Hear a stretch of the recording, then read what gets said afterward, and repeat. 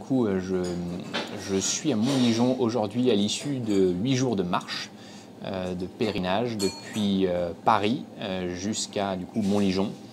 Huit jours décidés de, longue date, comme une volonté de ma part de, cheminer vers le Mont Saint-Michel, donc pour suivre tout le, le GR22 en partant depuis Paris, c'est là où j'habite, donc depuis mon domicile, euh, jusqu'au Mont-Saint-Michel. Et donc, euh, étant jeune professionnel, je ne pouvais pas euh, m'octroyer une, interruption aussi longue qui m'aurait permis d'aller jusqu'au Mont-Saint-Michel. Donc, j'ai fait un premier tronçon qui m'a mené un peu fortuitement, je dirais surtout par la, la Providence, à Montligeon en ce, en ce 14 novembre. voilà, jour de jours de pèlerinage au sanctuaire de Montligeon.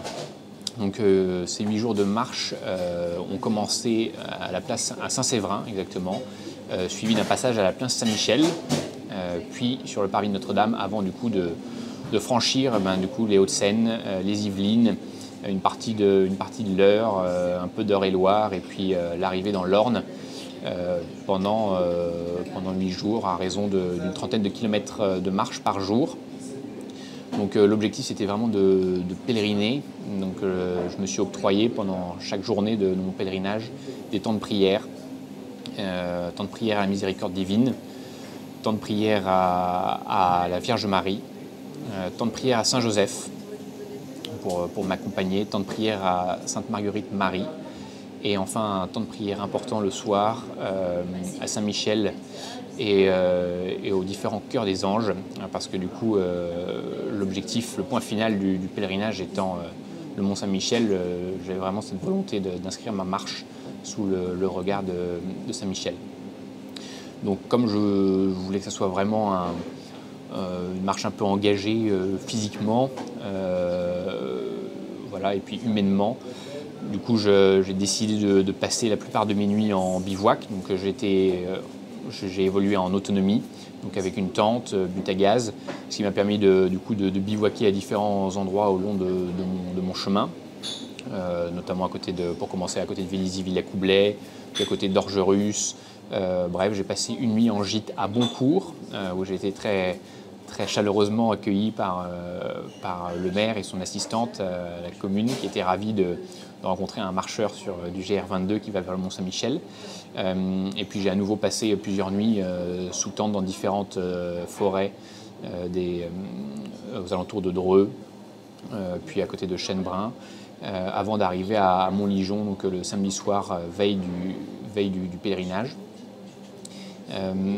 donc toutes ces, toutes, ces, toutes ces journées de marche, toutes ces nuits de, bivouac et ces, ces deux nuits de, en, gîte euh, voilà, m'ont permis de, cheminer euh, intérieurement, de, prier, de, souffrir un peu aussi avec, euh, mes jambes qui étaient un peu lourdes, de nombreuses ampoules aux pieds, etc.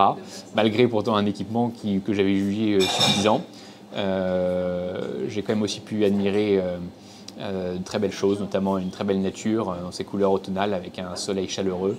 Euh, des couleurs magnifiques dans, les forêts de, Dreux, de, Meudon, euh, bref, c'était extraordinaire. Je peux aussi admirer une très belle faune, beaucoup de faisans, quelques chevreuils. C'est toujours sympathique d'en croiser sur la route, beaucoup de canards sur l'Avre. C'était aussi, très sympa de voir tout ça. Euh, voilà, j'ai aussi rencontré quelques personnes qui connaissaient le GR22, euh, et du coup avec qui j'ai pu échanger, euh, qui m'ont reconnu, euh, soit l'un dans un supermarché, l'autre sur le, chemin, un autre en se croisant sur, sur, sur la route. voilà, un peu voilà, interloqué ou se, ou se, rappelant pour ceux qui l'avaient déjà fait leur, leur marche passée. Et c'est vrai qu'après, bon, le chemin était quand même assez, assez solitaire. Il n'y a pas beaucoup de, gens sur ce, sur chemin vers le, vers le Mont-Saint-Michel. Mais, euh, mais c'était beau parce que j'avais le sentiment un peu de m'inscrire dans cette euh, vieille tradition euh, française et européenne du, chemin du chemin de pèlerinage vers le Mont Saint-Michel qui était quand même très actif par le passé au Moyen Âge et jusqu'à jusqu'à la Révolution. Et donc je me suis dit que c'était un bon début pour, pour commencer. Donc je suis bah, très, très content d'avoir pu marcher ces huit premiers jours. Maintenant il faudra que je, que je continue et fasse une étape supplémentaire pour arriver jusqu'au Mont Saint-Michel. et en espérant du coup arriver à l'abbaye et, vers Saint-Michel au péril, de, au péril de la mer en traversant la baie, dont je me réjouis d'avance. Donc en effet, c'était deux jours avant de, partir. J'avais pourtant fait mon, mon plan d'étape euh, mon plan d'étape euh, dans le train lors d'un déplacement professionnel où je m'étais dit que je m'arrêterais à Malétable. Malétable, c'est une, petite, euh, un petit village qui est 16 bornes avant Montligeon. Deux jours avant, je reçois un mail de Hosanna qui parle de cette neuvaine à Marie Libératrice fêtée le 16 novembre. Euh, et donc du coup, bah, ça m'a un peu interpellé, puisque du coup, moi qui déjà m'étais prévu mes 5 temps de prière par jour euh, pour cheminer euh, pendant mes, quelques jours, je, vois cette proposition d'une neuvaine, bon, qui ne collait pas exactement du coup avec mes dates, alors je ne l'ai pas retenue, mais tout de suite ça a fait tilt sur, l'étape à Montligeon. en effet, je n'avais pas prévu ça. Mais dès mon premier jour de marche, je me suis dit que Montligeon pourrait probablement être finalement mon point d'arrivée au, bout de, au bout de ma semaine, au bout de mes, neuf jours initialement. Euh, et donc du coup, je, l'ai eu en tête assez rapidement.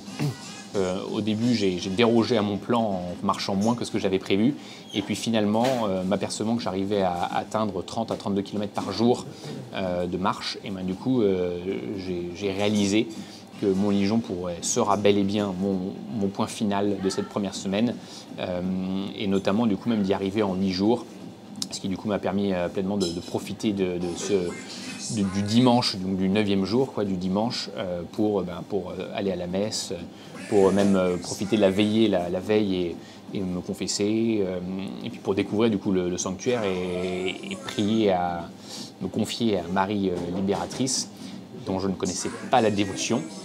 Euh, sachant que du coup ce, pèlerinage en tout cas était quand même pour moi une source d'abandon, en tout cas je recherchais un certain abandon, d'où le fait de le faire en solitaire aussi, de le faire tout seul, euh, un certain abandon personnel, de me détacher de, certaines, euh, certaines conduites passées voilà, qui, me pesaient un peu, et donc du coup de discerner un peu d'un point de vue spirituel sur, sur ma vie, donc c'est vrai que ça, cette étape ben, coïncide avec euh, le but euh, recherché dans, ma marche vers le Mont Saint-Michel, sans que je m'y attendais pleinement en fait.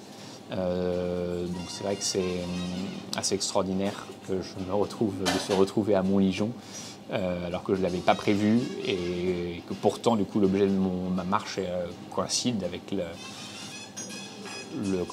les, enjeux, euh, la dévotion du, sanctuaire. L'œuvre expiatoire, exactement. Il y avait en effet une volonté de. Il y avait une certaine, euh, une certaine volonté dans cette marche de, bah oui, d'expier. Euh, c'est un mot un peu fort, c'est ça qui peut choquer un peu, mais c'est vrai qu'il y avait quand même cette volonté de, d'expier certains pans de ma, de ma vie passée. Voilà, donc en effet, j'arrive au milieu de ce, pèlerinage du ciel. Euh, et je découvre une, grande, une grande dévotion. Je découvre cette dévotion aux défunts, cette dévotion aux âmes du purgatoire, euh, dont je suis sensible aussi euh, par les chers conseils de ma, maman. mais voilà, je découvre beaucoup de gens qui viennent et qui de différents horizons. donc, notamment, j'ai pris tous mes repas au réfectoire de l'Ermitage. Et donc, du coup, j'ai pu discuter avec les uns et les autres. En effet, les, origines et les motivations profondes sont quand même très, très diverses, euh, souvent tournées vers, le, vers, le, vers la perte d'un être proche, etc. Et donc, du coup, dans ces, pèlerinages du ciel, je ne connaissais pas du tout, donc euh, tout, le, programme proposé par, euh, par Montligeon, ce qui m'a permis, du coup, de, bah, vivre quand même mon, neuvième jour de pèlerinage pleinement et vraiment sous l'œil de Marie.